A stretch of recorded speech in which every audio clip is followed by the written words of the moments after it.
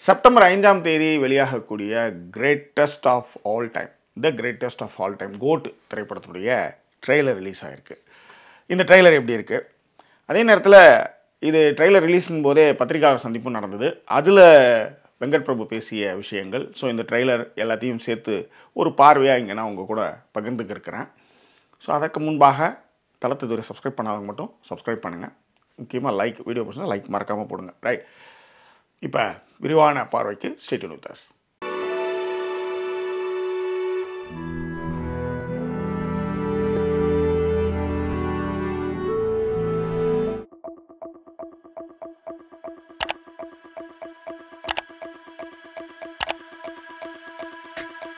the greatest of all time GOAT இந்த படம் வந்து பெரிய எதிர்பார்ப்புகளை ஏற்படுத்திக்கிட்டு இருந்தது. காரணம் என்னன்னா அவர் வந்து ஒரு அரசியல் கட்சி த கட்சியை ஆரம்பிச்சிட்டாரு. ஸோ இப்போ இந்த மாதிரி ஒரு படம் ஒன்று வரும்போது நிறைய விமர்சனங்கள் வரும். கதாபாத்திரத்தையும் ரியல் லைஃப்பையும் போட்டு குழப்பிக்குவாங்க.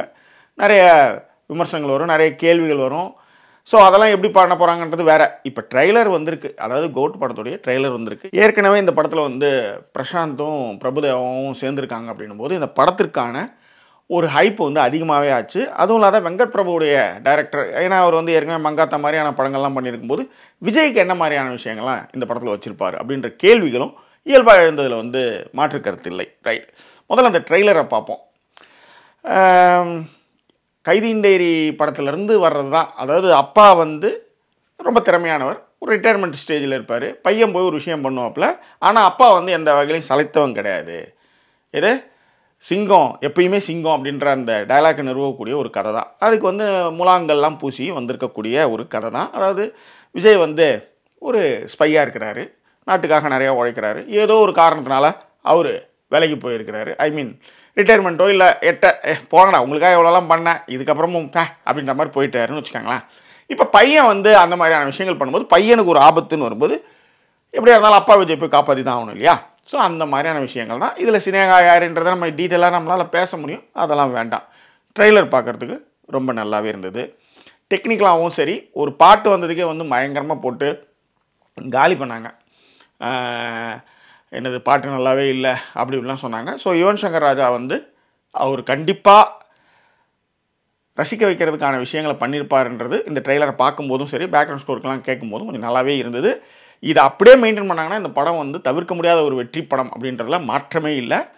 ஸோ படத்தோட எஸ்மோடோகிராஃபர் சித்தார்த் நூனி அதுக்கப்புறம் வந்து வெங்கட் ராஜன் அவர் தான் எடிட்டிங் பண்ணியிருக்கிறாரு ராஜன் ஆமாம் ஏன்னா ஒரு ஆக்ஷன் ஃபிலிம் அப்படின்னும் போது ரெண்டு பேருமே போட்டி போட்டு வேலை செஞ்சுருக்காங்க. முக்கியமாக எனக்கு வந்து இந்த மெட்ரோ ரயிலில் நடக்கிற சண்டை காட்சிகளை பார்க்குறப்ப ரொம்ப நல்லாவே இருந்தது. ஏன்னா அந்த கிளாஸை உடச்சிக்கிட்டு வண்டி உள்ளார போகுதுன்றதுலாம் வந்து கற்பனைக்கு வந்து உயிர் கொடுத்துருக்க மாதிரி தான் இருக்குது படம் வந்து பார்ப்போம். அது எப்படி இருக்குன்ட்டு. ஸோ டிபார்ட்மெண்ட் ஆர்ட் டிபார்ட்மெண்ட் வந்து எல்லாமே ரொம்ப சிறப்பாக பண்ணியிருக்காங்க.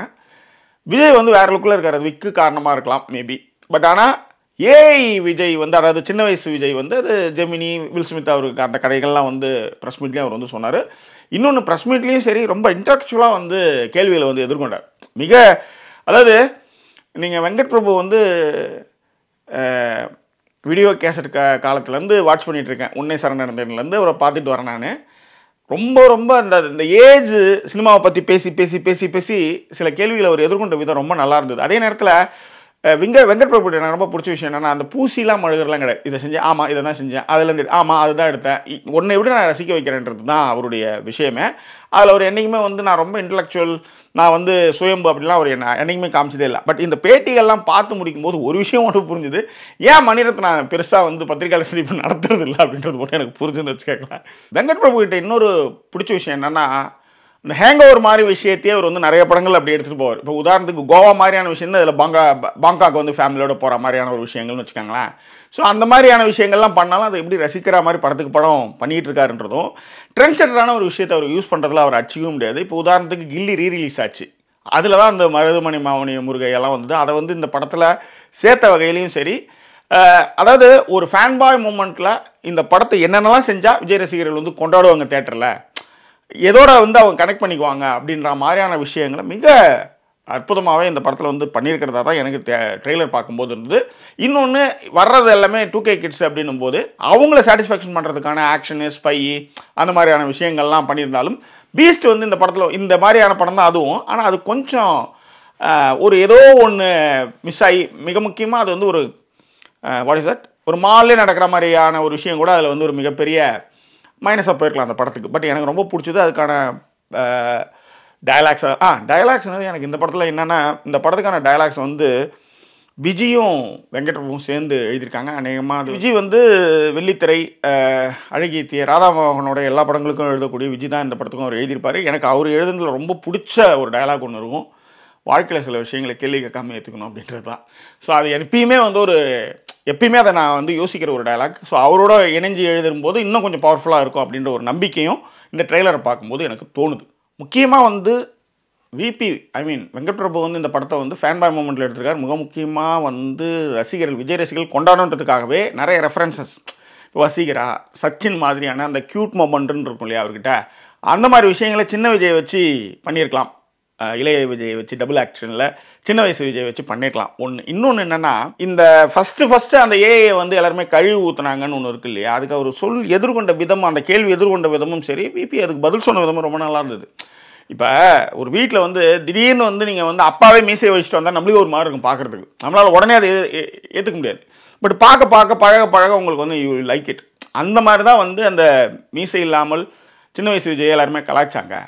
அப்படின்ற ஒரு விஷயத்தையும் சொன்னாங்க. அதே மாதிரி இந்த படத்தில் இன்னொரு ஒரு விஷயம் ரொம்ப வருஷத்துக்கு அப்புறம் ஒரு முழுநீள ஒரு பிரபலமான ஒரு பெரிய ப்ராஜெக்டில் மைக் மோகன் நடிக்கிறதும் சரி.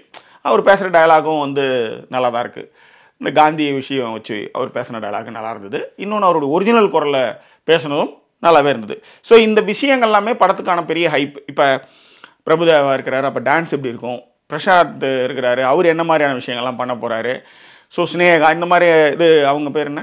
லைலா இந்த மாதிரியான விஷயங்கள்லாம் வரும்போது ஒரு ஒரு நாட்டோ நாஸ்ட்ராலஜிக் மூமெண்ட்டாக அது ஒரு என்ன சொல்கிறது லைலா பிரபுதேவா காம்பினேஷன்ஸ் இதெல்லாம் கொஞ்சம் நிறைய நீங்கள் யோசிப்பீங்க இந்த படம் பார்க்கும்போதே. ஸோ அந்த ஒரு ஃபீலிங்கும் வந்து இந்த ட்ரெய்லர் வந்து கொடுத்தது. ஏன்னா ஸ்னேகா லைலா பிரபுதேவா பிரசாந்த் இதெல்லாம் இருக்கும்போது நம்மளுக்கு ஓரளவுக்கு நம்மளுக்கு வந்து பழைய படங்கள் வெற்றி பெற்ற படங்கள் அவங்க காம்பினேஷனில் அந்த படங்களை நினைவு கூறுவதை மறுப்பதற்கு இல்லை. அதுவே இந்த படத்தினுடைய ஹைப்புக்கும் ரசிப்புக்கும் என்னவா இருக்க போகுது அப்படின்ற ஒரு விஷயத்துக்கும் காரணமாக இருக்குன்றதுலையும் மாற்றுக்கிறது கருத்து இல்லை. எல்லாத்த விட இன்னொரு விஷயம் என்னென்னா இந்த படத்தை பார்த்துட்டு அஜித் வந்து படம் ரொம்ப நல்லா இருக்குது உன் டீமுக்கும் விஜய்க்கும் வந்து வாழ்த்துக்களை சொல்லிடுங்கன்னு அந்த சொன்ன விஷயங்கள் இந்த காம்பினேஷன் இந்த காம்போ இவங்களுக்குள்ள அந்த நட்பு ரீதியான விஷயங்கள் எல்லாமே வந்து ரொம்ப லைட்டர் நோட்டாக வந்து அவர் எடுத்துன்னு போகிறதும் சரி. அதெல்லாமே கொஞ்சம் நல்லாவே இருந்தது. அதுதான் மேட்ரு இப்போ நம்ம ஊரில் தான் வந்து அந்த எதிரும் புதிருமான விஷயத்த கொம்பு சீ விட்டுக்கிட்டே இருப்பாங்கன்னு வச்சுக்கோங்க. இப்போ இது வந்து இந்தியில் அது மாதிரி கிடையாது. ஏன் மலையாளத்தில் சுத்தமாகவே கிடையாது. பெரிய பெரிய நடிகர்கள்லாம் ஒன்றா சேர்ந்து எடு நடிப்பாங்க. ரொம்ப இயல்பாக இருக்கும். ஹாலிவுட்லேயும் அந்த மாதிரியான விஷயம் இருக்குது பட் தமிழில் வந்து அதை வந்து அந்த என்ன சொல்கிறது கொம்புசி விடுற விஷயங்கள் நிறையவே இருக்கும். இந்த பத்திரிகையாளர் சந்திப்பில் கூட வந்து கேட்ட விஷயம் என்னென்னா லோகேஷ் கனகராஜுடைய டைலாக்கை நீங்கள் யூஸ் பண்ணிட்டீங்களா? அப்படின்ற மாதிரி ஒரு கேள்வி கேட்கும்போது அதுக்கு அவர் சொன்னார் நல்லா இருந்து எடுத்துக்கிட்டேன். நல்லா இருந்தது. ரசிக்கிறத வந்து திரும்ப ரசிக்கிறதுல என்ன தப்புன்னு கேட்குறேன் ஒருத்தவங்க ஒரு விஷயத்தை பண்ணி ஒரு ட்ரெண்ட் செட்டர் பண்ணியிருக்காங்க அந்த ட்ரெண்ட் செட்டர் நான் யூஸ் பண்ணிக்கிறேன். அது அவர் படம் தானே அவர் பேசின வசம் தானே. இன்னொரு டேரக்டர் யூஸ் பண்ணால் அதை நம்ம யூஸ் பண்ணக்கூடாதா? அப்படின்றது வந்து அவர் சொன்ன விதம் பிபி சொன்ன விதம் வந்து ரொம்ப நல்லாவே இருந்தது. அதே மாதிரி இந்த கோட் சந்திப்பு பத்திரிகையாளர் சந்திப்பில் வந்து முதல் விஷயமே என்னென்னா அரசியல் பற்றி கேட்குறீங்க படத்தை பற்றி நீங்கள் என்ன வேணாலும் கேளுங்க அப்படின்றப்போ ஒரு கேள்வி வந்து ஏன் வந்து ஏஐக்கு வந்து நீங்கள் வந்து ஐ மீன் கம்ப்யூட்டர் கிராஃபிக்ஸ்க்கு விஎஃப்எக்ஸ்க்கெலாம் நீங்கள் வந்து அமெரிக்கா போனீங்க இங்கேயே நீங்கள் பண்ணலாமே அப்படின்ற ஒரு கேள்வி வரும்போது அதை எதிர்கொண்டு நல்லாயிருக்கு இருக்கிறதுல பெஸ்ட் ஸ்டுடியோ அதுதான்.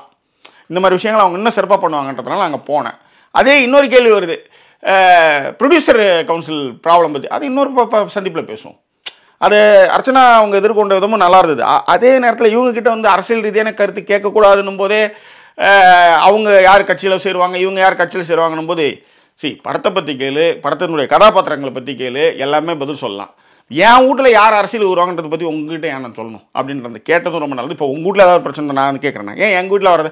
அதில் இன்னொன்று சமயோஜிதமாக என்ன சொன்னார்?